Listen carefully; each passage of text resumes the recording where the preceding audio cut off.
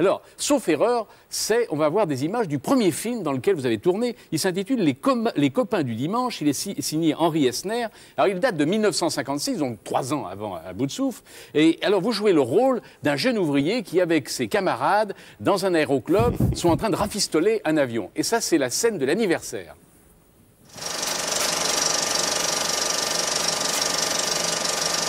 Euh, c'est Yves, de, Yves, Yves Il y avait aussi Marc Casso qui jouait. Marc Casso, Julien Berthaud, euh, alors, Noël. Oui, alors d'abord, une chose, c'est que vous avez 23 ans, mais vous en faites 17, 18.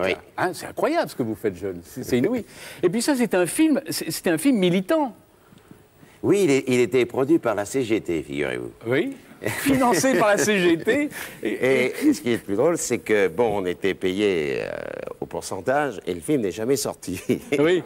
Donc, on n'a jamais rien touché. Le film est sorti bien après À bout de souffle, quand, j'ai été connu, et ils, ils, en ont profité pour le sortir. Bon, il n'a eu aucun succès. Oui. mais il passait dans les comités d'entreprise. Il passait dans les comités d'entreprise. c'est ça. Donc, beaucoup de gens, finalement, l'avaient vu, oui, oui. mais, mais évidemment, gratuitement. Gratuitement, oui. Mais vous savez comment je l'ai fait, ce film? Non.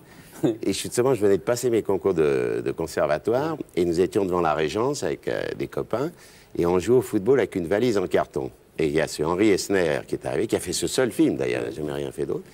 Et il m'a dit, voilà, je fais un film, vous correspondrez au personnage. Et je me suis retrouvé là avec un tas de gens. Euh, il y a Piccoli aussi dedans, qui a un petit rôle. Un tas de gens étaient dans, dans ce film.